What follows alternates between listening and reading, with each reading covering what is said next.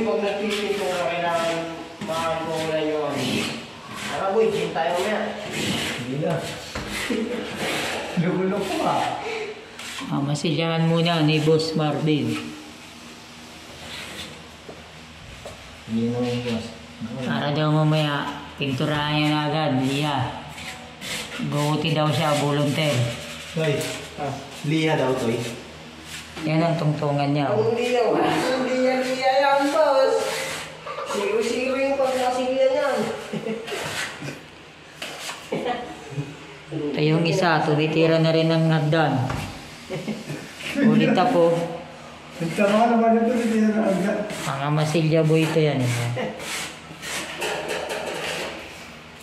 Liya daw, boy eh. Ha? Liya daw. Oo nga eh. Paano kasi pangit ang nagsipagdaan mo, Ti? Boy, pasalamat ka na lang at kahit yung resulta ng trabaho niya kasi kung hindi, wala kang trabaho ngayon. Tama. Tama. Tama. Tama, Bird. Tama. Tama. Bilisan nyo, lipat tayo kay Sir Bong. Kay Architect, nag-chat na. Ano sabi? Bilisan mo daw, Boss Marvin. Kaputi mo sa doon. Yan yung si Kaudong. Oo. Kaudong! Off-white na pala kulay nito, off-white. Para yung sa loob, off-white daw yung finish. Dating kulay blue.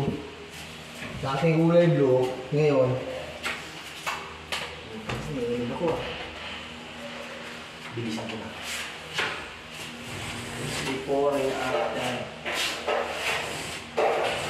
Gagawing off-white, tapos ang ceiling, white. Yung